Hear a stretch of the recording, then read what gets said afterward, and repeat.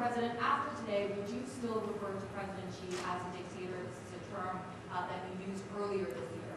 Well, look, he is. I mean, he's a dictator in the sense that he, he is a guy who runs a country that is uh, a communist country that is based on a form of government totally different than ours. Anyway, he knows that.